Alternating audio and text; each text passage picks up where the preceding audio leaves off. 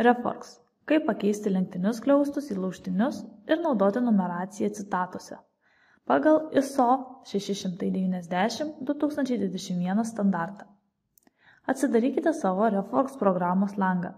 Spauskite Create Biography, tuomet pasirinkite Citation Style Editor, paieškos laukia įveskite norimą pakoreguoti stilių, šiuo atveju ISO.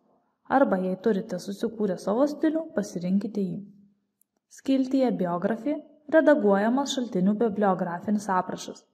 Skiltyje Citations redaguojamas šaltinio citatos pateikimas tekste. Skiltyje Footnotes redaguojamos išnašos.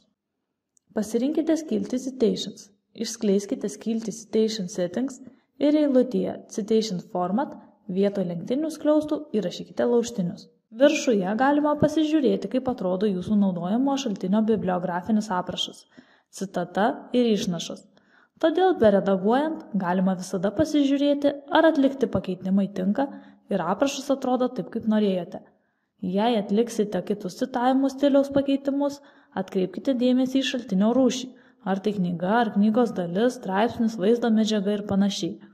Ir pasirinkite atitinkamą šaltinį, kurio bibliografinį aprašą norėsite redaguoti. Baigus redagavimą spauskite Save a Copy ir sugalvoję stiliaus pavadinimą paspauskite Save.